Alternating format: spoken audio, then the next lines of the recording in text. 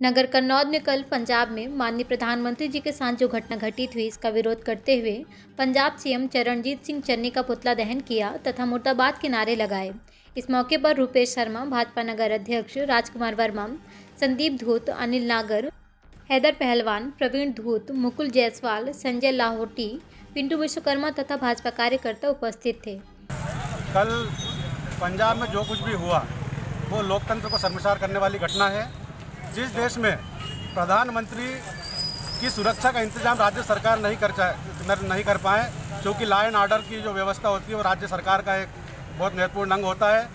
तो मुख्यमंत्री चन्नी और पंजाब पुलिस के वरिष्ठ पदाधिकारियों के वरिष्ठ अधिकारियों के बीच जो भी वार्तालाप हुई होगी, उन्होंने जो भी सुरक्षा में चूक की, वो बहुत ही ज़्यादा निंदनीय निंदनीय है। और कहीं ना कहीं ऐसा लगता है कि जिस तरह खालिस्तानी आतंकवादी किसानों के रूप में वहाँ मौजूद थे, उनके बीच में प्रधानमंत्री को सुरक्षा न देना कहीं बहुत बड़ी साजिश है।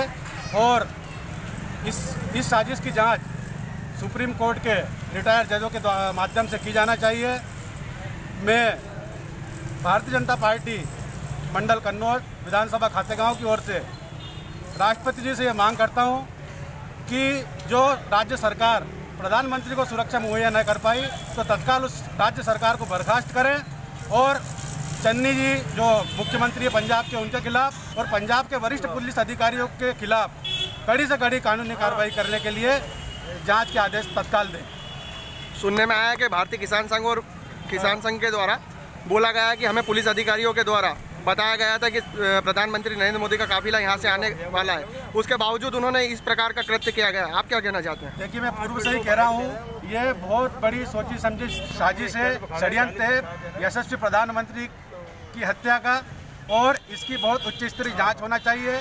जिस तरह का घटनाक्रम हमने देखा, पुलिस का बहुत देरी से वहाँ पहुँचना, उसके बाद प्रधानमंत्री जी का, एसपी जी की सुरक्षा के कारण वहाँ बचना और उसके बाद पंजाब पुलिस के अधिकारियों का, उन खालिस्तानियों के साथ चाय पीना, ये कहीं ना कहीं बहुत गंभीर साजिश है और इस साजिश का जल्दी से जल्दी पर्दाफाश होना चाहिए।